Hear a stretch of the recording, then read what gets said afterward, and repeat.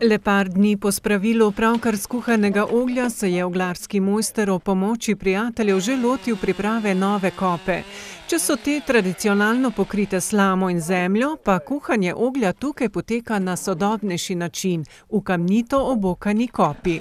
Je eh, veliko lažje, skoraj za polovico lažje delo, niti treba zemljo eh, eh, gor metati in dol in tisto eh, čuvati po noč, pa kdaj bo pregorela.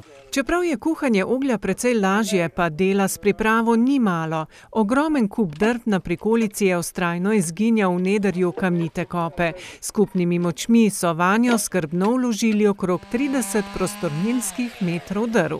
Redno pomagate? Ja, kar za zadnje leta, ker ne drugega posla, pa se pa s tem mal doštovka penzije, ki je bolj slaba. In eh, je veliko dela? Ja, veliko. Pa umazano delo je, ne. To je praktično skus v prahi. Praha, kjer češ ga imaš. Če drugače pa zanimivo delati, ki je možakar ta prav in je ljušen zimo delati. Zaradi želje po priučitvi kuhanja oglja v kamniti kopi je tokrat na pomoč priskočil tudi oglar iz Žužemberške občine.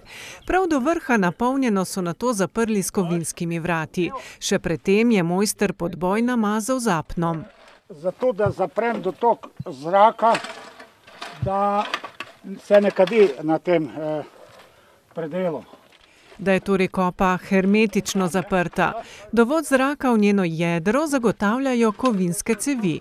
Kdaj pa vrata odprete? Vrata se odprejo eh, 10 do 14 dni, eh, ko je do konc, eh, ko je dogorela. Jaz ogla nikdar ne polivam, ampak ko se on eh, sam ohladi, ga zmečem ven in spakiram. Je tudi ogle eh, zelo, zelo eh, kvalitetno. Ne?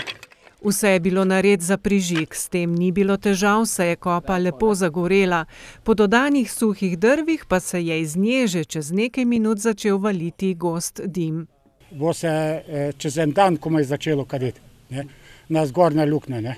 Na spodnje bo pa že zdaj čez eno deset minut, mogoče že prej, ne?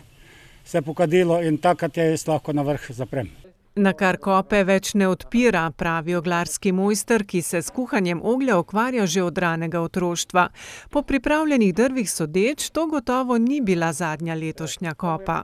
Mislim, da bom še dve letos, pol bom pa verjetno zaključil s, te, s to dejavnostjo.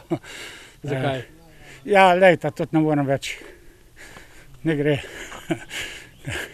A dolgoletni gozdar in oglar kljub temu upa, da tradicija na Gorjancih vendarle ne bo utonila v pozabo.